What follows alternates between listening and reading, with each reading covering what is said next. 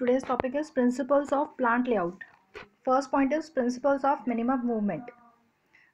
इसका मतलब है कि हम जो प्लांट लेआउट कर रहे हैं था कि अरेंजमेंट तो हम इस तरीके से अरेंजमेंट करें ताकि हमारा, चाहे किसी भी रॉ मटेरियल का हो, हमारे मैन का हो, हमारा जो डिस्टेंस है, हमारा जो टाइम है, वो उसमें बचना चाहिए मूवमेंट हमारा जितना कम से कम हो, उतना ही हमारा लेआउट जो है वो इफ़ेक्टिव होता है second point is principle of space utilization that means कि जितनी ज़्यादा हमारे पास स्पेस अवेलेबल है, उसको हम इफ़ेक्टिव यूज़ करें। ऐसा ना करें कि हमने एक मशीन बहुत बड़ी थी तो उसको अलग तरीके से लगाया, ठीक है?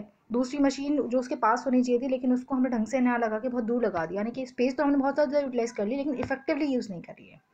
तो नेक्स्ट प्रिंसिपल है हमारा space utilization third point is principle of flexibility जो भी लेआउट हम अडॉप्ट कर रहे हैं, वो इस तरीके से होना चाहिए कि हमारा जो फ्लेक्सिबिलिटी है, वो होनी चाहिए वहाँ पे।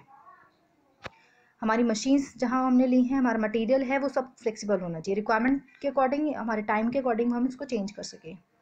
Next is the principle of interdependence that means कि प्रिंसिप जो भी आगे हमने अरेंजमेंट किया है, वो एक दूसरे के ऊपर इंटरडिपेंडेंट हो।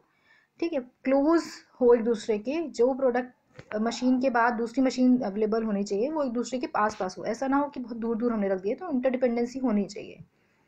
Next is the principle of overall integration that means कि एक सेंट्रलाइज uh, होना चाहिए। इस ओवरऑल इंटीग्रेशन मतलब है कि सेंट्रलाइज होना चाहिए एक ही पॉइंट से सारी चीज़ें मैनेज होनी चाहिए। डिसेंट्रलाइजेशन नहीं होना चाहिए।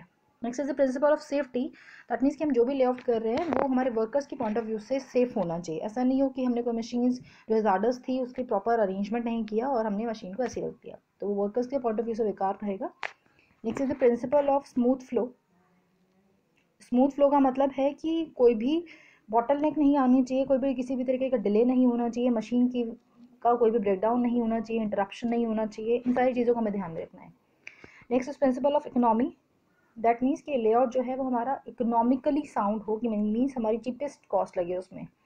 ठीक? Principle of supervision that means कि लेआउट ऐसा होना चाहिए कि जिसमें हम इजीली मशीन मशीन का अरेंजमेंट इस तरीके से है कि हम प्रॉपर जाके इधर उधर घूम के मतलब सुपरवाइज कर सकें चीज़ों को।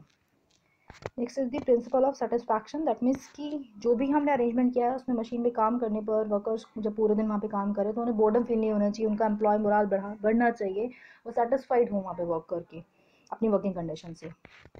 Next is the types of plant layout अब टाइप्स में हमारे पास तीन तरीके के टाइप्स हैं product layout process layout and the combination layout product layout का मतलब है कि जब हम प्रोडक्ट बेस हम कोई भी लेआउट मैनेज कर रहे हैं। सपोज़ मेरे को प्रोडक्ट बनाना है, मेरी कंपनी में चार पाँच प्रोडक्ट बनते हैं तो मैं प्रोडक्ट लेआउट को कर सकती हूँ।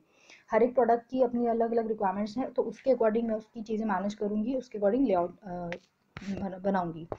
इसी के आगे यहाँ पे एडवांटेजेस डिसएडवांटेजेस दिए हुए हैं। कोई प्रॉब्लम हो तो आप पूछ लीजिएगा।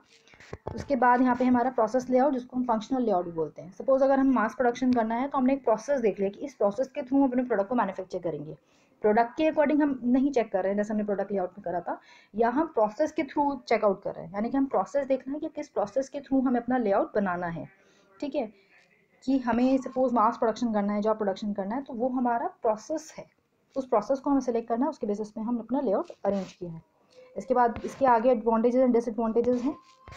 लास्ट है combination layout sorry second last है कॉम्बिनेशन लेआउट यहाँ पे क्या है हमारा, कि हमने दोनों को कॉम्बिनेशन यूज़ कर सकते हैं। सपोज़ मेरी कंपनी ऐसी है, जैसे अचीवल है तो वहाँ बहुत सारे वेराइटीज़ भी हैं प्रोडक्ट के, लेकिन इतनी ज़्यादा वैरायटी है कि हम हर एक के लिए प्रोडक्ट लेआउट यूज़ नहीं कर सकते। तो वहाँ प्रोसेस लेआउट पे भी वर्क करना पड़ेगा। यानी कि ऐसी जगह पे हमें दोनों कॉम्बिनेशन को यूज़ करना पड़ता है।